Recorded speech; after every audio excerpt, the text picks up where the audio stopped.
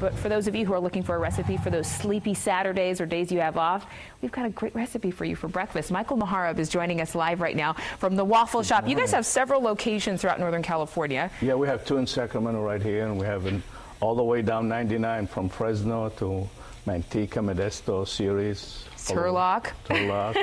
we got your sign right here. A lot of people voting you the best breakfast in the county for Sacramento. So why don't you show us what you're making here? You're, you're definitely making waffles. I'm making waffle. Also, right here, I got. I'm gonna do an omelet. Okay.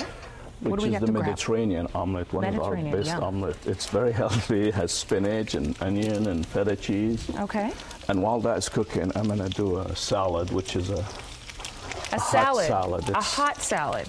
It's teriyaki chicken salad. So this would be a great idea for those of you who are having a brunch coming up. A lot of times we have springtime brunches, so you got a little bit of everything, a couple of breakfast items, and then more lunch type items Yeah, too. we, we serve breakfast and lunch seven days a week. So mm-hmm. And so while that's cooking, how many eggs do you put in your omelet three here? three large eggs. All right, not too bad.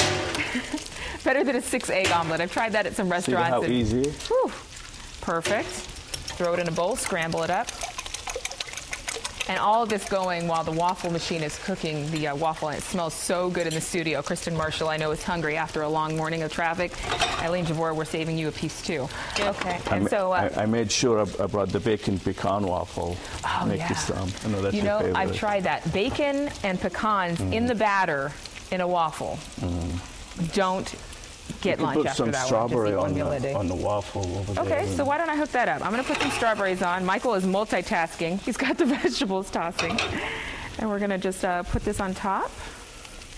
And I guess you could serve it with butter and syrup and all the fixings. Yeah, we, we have diet syrup with no sugar. Diet syrup for those of you watching your sugar intake there, but still delicious. And then a salad. We eat the And you just put the hot and vegetables and hot chicken on top of it. And we use teriyaki sauce or any kind of sauce you want with it. as like a dressing. yeah, and you have a perfect, Perfect. meal with. Uh, And then you add a little bit of cheese with there. There you go. That's the magic of chefs uh, that I cannot do. You can flip that omelet really well. I can hand you anything you need. Here, let me go here. oh, either use or. that one. Okay.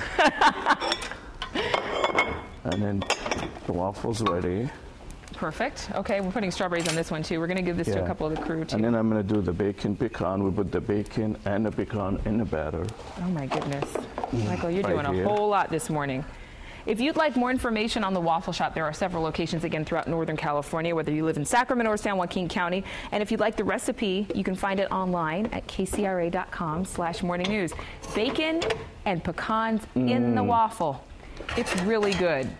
But again, save yourself and, And just while you're that one meal. online, don't forget to vote for on the A-list for the waffle shop. That's right. Waffle Shops, uh, it had, they're up for uh, the A list. Deirdre and Eileen, over to you.